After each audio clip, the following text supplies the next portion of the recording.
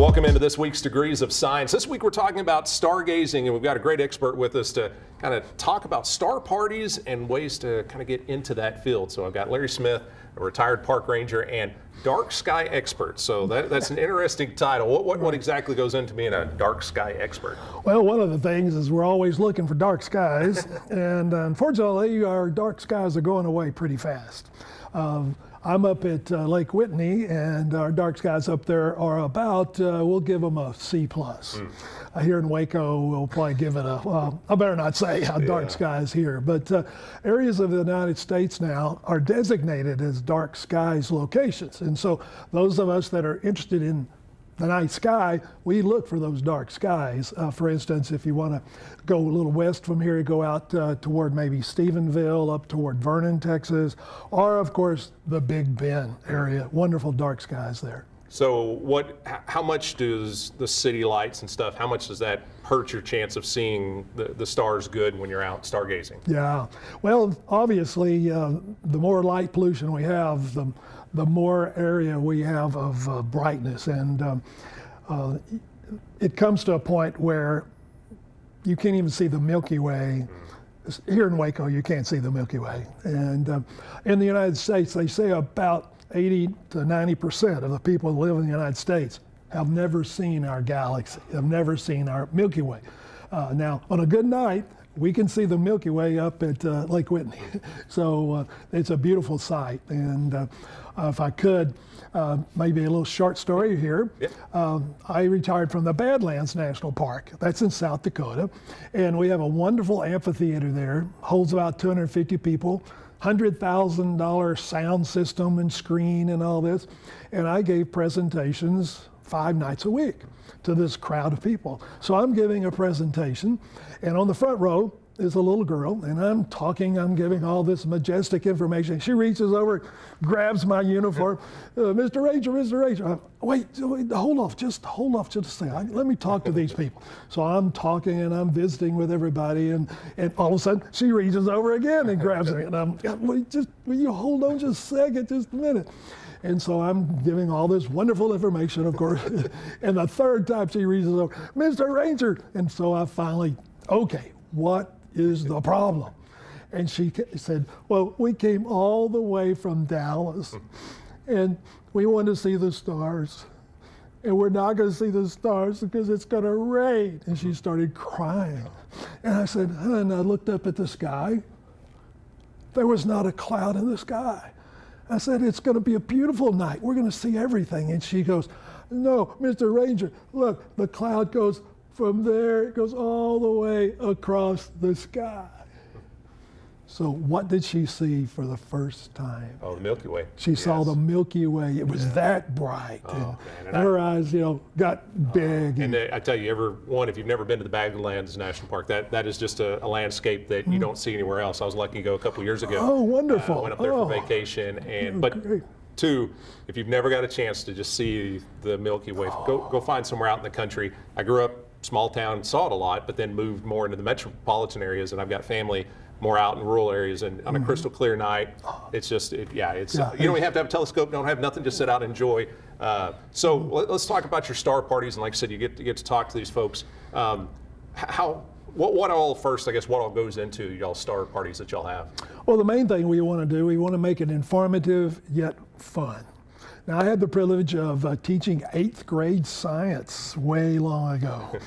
And uh, so we try to keep everything about that level. We don't want to get into any physics or any of that. We want to keep it short and simple, but make it fun in the Star Party. And we use different kinds of uh, instruments. We use different kinds of uh, materials to try to make it fun. And may I show you one real oh, quick? Sure, we'd love to. Okay. All right. So we got this here. Would you please hold the sun? Hold the sun. That is the sun. The sun. Okay. All right. Okay. Yep. Now I have some items here, and in here I want you to guess which one of these would be the Earth in uh, comparing to the sun. Uh, I'm going to say the one of the golf balls, but I'm wondering if that's it because it looks like colored like it. A little marble a little down marble, there. Yeah. We pointed out a little marble yeah. right here. Well, I'll tell you what, You see that little piece of dirt on the ground Mm-hmm. there?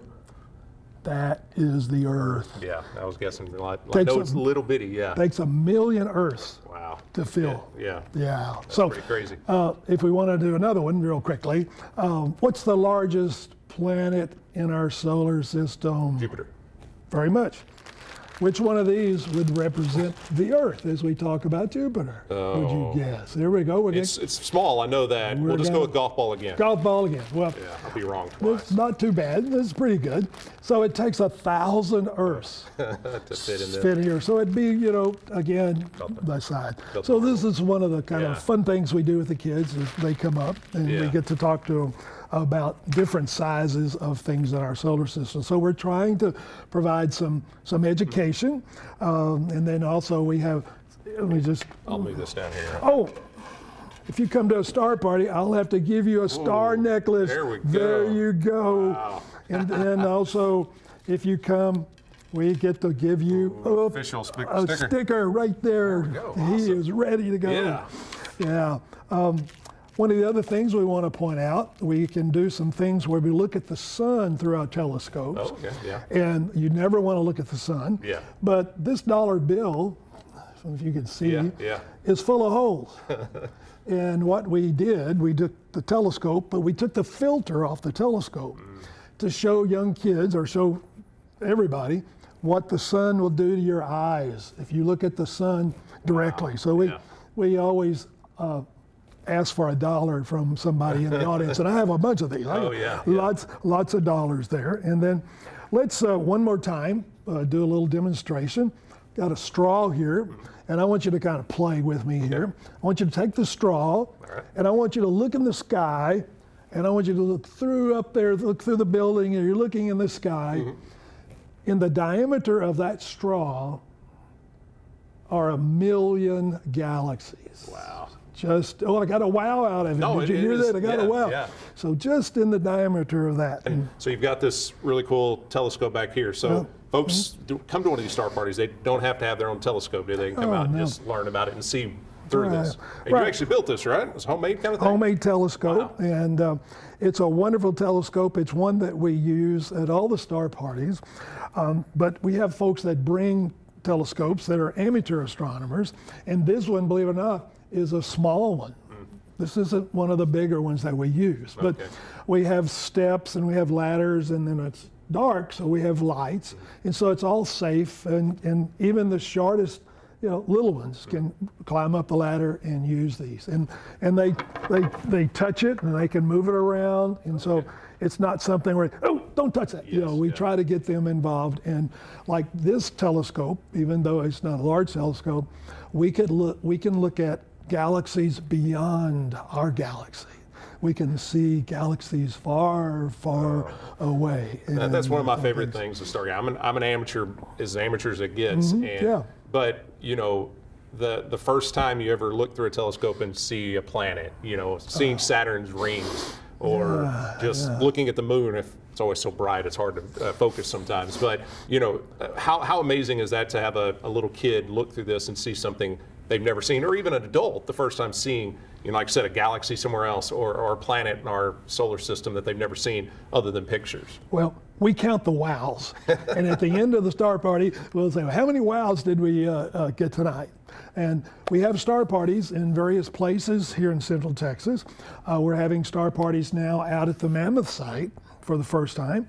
Uh, we do star parties every month up at Lake Whitney State Park. And then there are star parties over in Hubbard, Texas, out there at the lake. And then um, we've got some in the Central Texas Astronomy Club, which is up uh, in Clifton.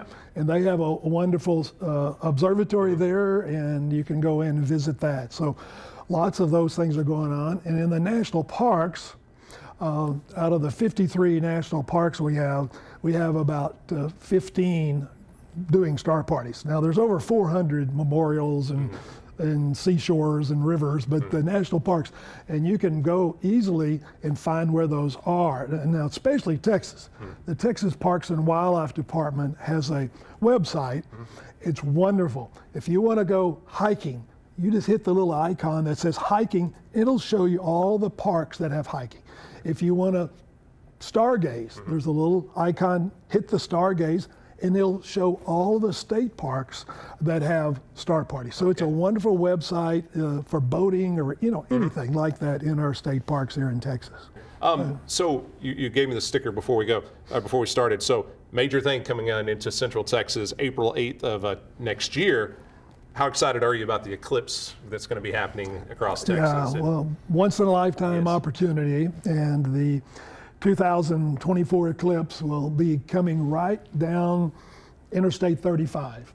And we actually anticipate a million visitors coming through this area. So move out of your house, rent your house out. uh, I went to the one, uh, the last one a few years ago. I went to Hiawatha, Kansas, little town of 1,200, 6,000 people. And many of the people actually did uh, rent their homes for a thousand dollars a night. Because people were there from all over the world and uh, it was uh, remarkable. So uh, waco's getting ready and it's up to you mr weatherman Oh, I know. it's up to you crystal you clear have skies, those clear weather. skies I know, and with it being in so it's April, all his yes, fault if it doesn't turn out beautiful Oh, so yeah, and I know that April's a hard time too because we always, you know, weather can get crazy that time of Yeah. year. So let, let's look connection in weather and uh, astronomy and stargazing. What is there? Warm weather, cold weather, does that play any difference in looking out at the stars and stuff? Do you have a certain type of weather that's best to go stargazing? Sure, yeah. Um, I'm going to hurt some feelings here. I hate to say this, but do you remember the song your mother sung to you, Twinkle, Twinkle, Little Middle? That's a, she was lying to you. She was not telling you the truth. If we look at a star down toward the horizon, mm-hmm. it's going to be twinkling. It's going to be mm-hmm. really pretty. The reason for that, we're looking through a couple of hundred miles of pollution mm-hmm. of dust, smoke. And so uh, the light, the photons from that star are bouncing off. If we look straight up, we're looking at maybe 28 miles. Stars don't twinkle. So I hate to mention the fact that stars don't twinkle, but the other thing is the weather, obviously, because uh, with the weather uh, coming in, the, the highs that we have are, are wonderful for looking outside. And believe it or not, the winter time.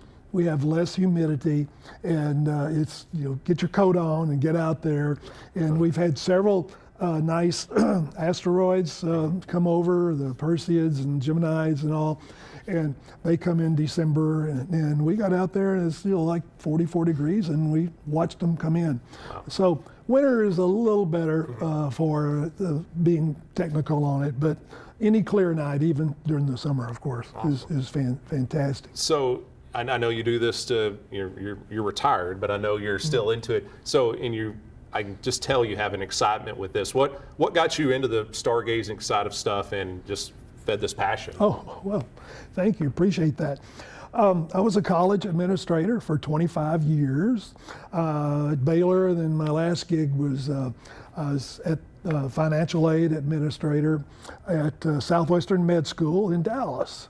And uh, I have to wear a pager because admissions to med school is so competitive. in the middle of the lake, I'd get a page you know, about somebody wanting to med school. So I said, I'm going to do something different. And so I started teaching eighth grade science. So I went from the med school to eighth grade science. Eighth grade science, the curriculum, geology, oceanology, oceanology meteorology, I got to teach that, and of course, astronomy. Uh, so not being involved in astronomy until I was 45 ish, 46, 47, and just got hooked on astronomy. And then um, I hope anybody looking would uh, today, if they want to go to a great place for astronomy, we've got one in Texas. It's called the Three Rivers Foundation. The Three Rivers Foundation is out past Vernon, Texas. Uh, they have observatories, a 40 foot observatory. Uh, they have star parties where they may have maybe 10 to 20 telescopes out for people to use. They have RV areas, uh, and we, we named it Comanche Springs Astronomy Campus, and it's all free. And it's a wonderful place to go. And uh, they hired me to come out and, and kind of start that. And so kind of got into my life with that, and just and then the national parks called and went to the national parks to be an astronomer there. But if we have time, can I tell a little story about that? Um, uh, hopefully, you might be able to find the image of the star chair. The star chair is a wonderful instrument. It's like a La-Z-Boy, and we put a huge set of binoculars on right here, and we have a joystick. And you can go up and back and around and all over with this joystick. It's a wonderful, we brought them from Australia. Oh, really? So one night at the star party, uh, a lady brought her father. The father was 84 years old uh, from Childress, Texas. I'll never forget it. and he is a cowboy. When I shook hands with him, his hands were so callous, I thought my hands were going to bleed. But anyhow, I said, what am I going to do with this elderly man? He's not going to be able to stand up. So put him in the star chair, show him how to do it. And I've said, now we've got other people that want to use the star chair, so we'll come over in a few minutes. And so a few minutes I go over, okay, let's let these other people.